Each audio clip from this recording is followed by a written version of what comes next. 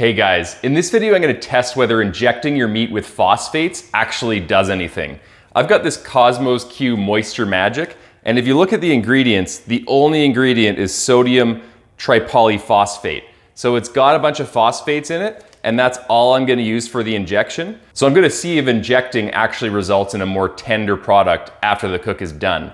I've got two identical 10 pound pork butts, and I'm going to inject one, and I'm gonna leave one uninjected.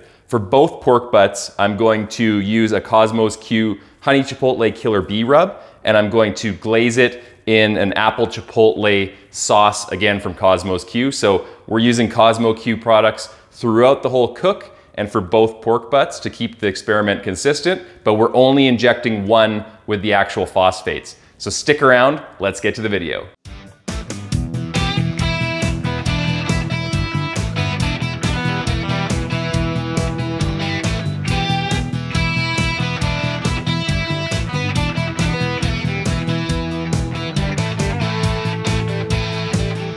So we'll start mixing this injection now. And we'll just look at the instructions. It says one cup of distilled water for one eighth a cup of this mix. And that is for the injection. It's got a different instruction for the brining, but we'll go by the injection instructions. So I filled this bowl up with four cups of cold distilled water. So that means we need a half a cup of this product. I'm going to use a quarter measuring cup, so two scoops of this and we should be good. So I'll open this up. And this is the first time I've used this before, so I'm really interested to see what the results are. I've never used a phosphate injection before. So very, very interested to see what the results will be. Okay, let's get a scoop of that. Try to get as even as possible. All right.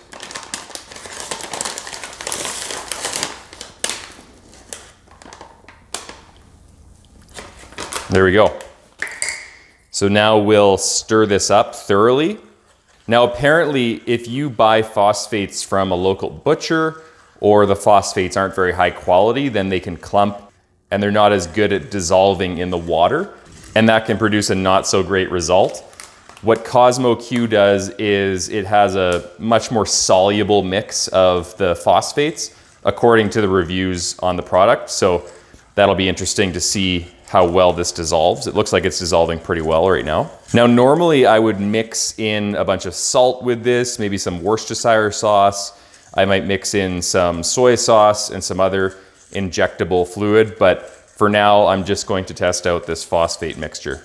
Okay, now that that's mixed up, I'm going to inject it into the pork. Now, if you're wondering why I'm only wearing one glove, it's because that means that I know that I'm only going to touch the raw meat with my gloved hands. I'm gonna keep this hand free for touching the other stuff for food safety reasons.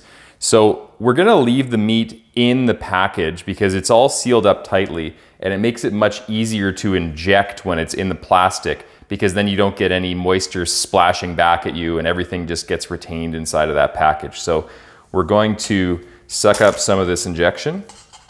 Now, there's a couple of different ways to inject. One school of thought says to go with the grain and one school of thought says to go against the grain. And I think both camps sort of say that the other way of doing it results in a discoloration of the meat when you cut into it. But I wouldn't worry about that too much. I'd just start injecting however you want. Just make sure that you make an injection about every square inch and cover the entire uh, surface with, uh, with little dots and make sure that you fill up the entire pork shoulder with enough moisture. So we'll start here and we'll just start doing some injection. Now I'm just putting about half of this tube in. You can see a little squirt back coming there. And then I'm pulling out as I'm pushing the tube in to make sure that it gets evenly injected throughout the meat. Now we're putting quite a bit of moisture into this pork shoulder and it's not gonna retain all that moisture. A lot of it is going to sit in pockets inside the meat and it's not going to absorb into the muscle tissue because this is already like such a huge portion of moisture that it doesn't have the ability to suck up much more unless you use a lot of salt, which we're not using. But we're gonna put in as much of the four cups of brine as we can, and we'll see how much it can retain. It should uh, blow up a little bit, and you should see it noticeably get larger in size after you put all that extra moisture in it. And as I come over to this side, I wanna make sure that I'm getting the money muscle injected here.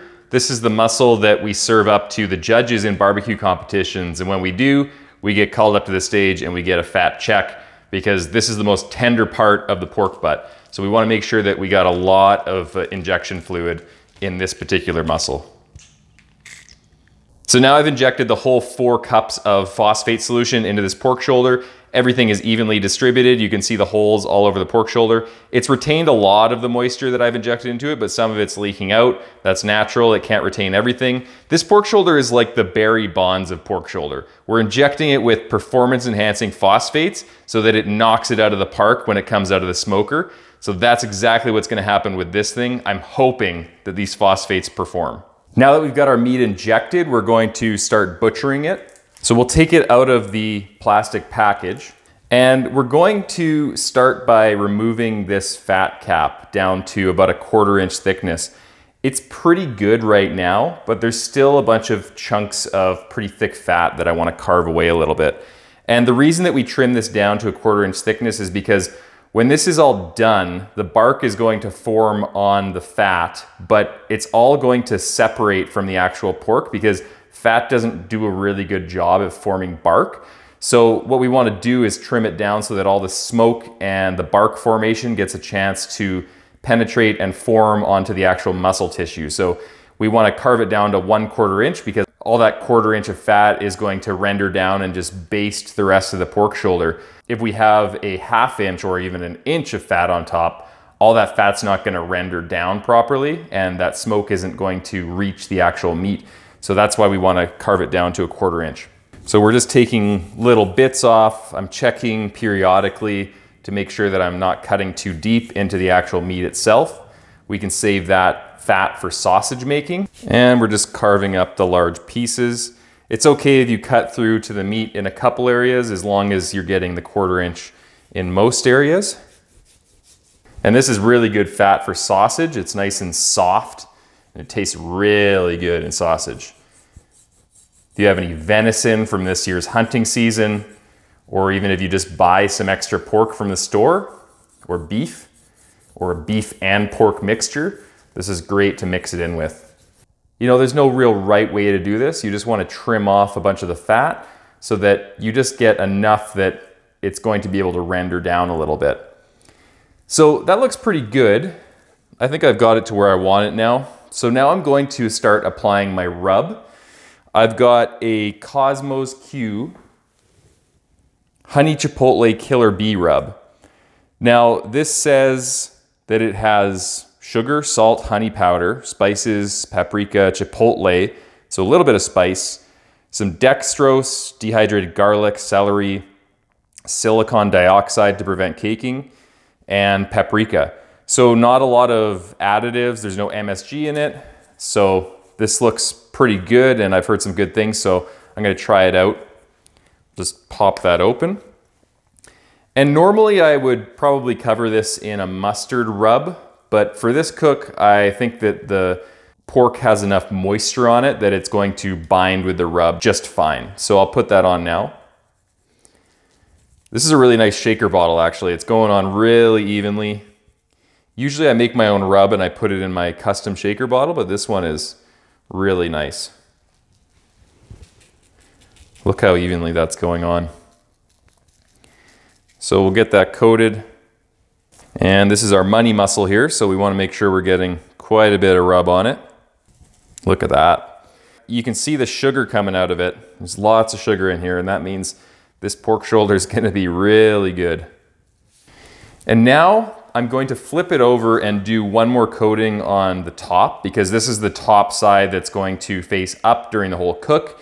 And I want a nice presentation and I want all the spices to be able to melt down during the cooking process as the fat renders out and baste the rest of the pork shoulder. So I'm gonna make sure there's a pretty heavy dose of rub on the top here. All right, now we can leave this to sit at room temperature for about an hour. I'm going to check the temperature right now with my Thermapen. And at the center of it, it's reading 43 degrees Fahrenheit.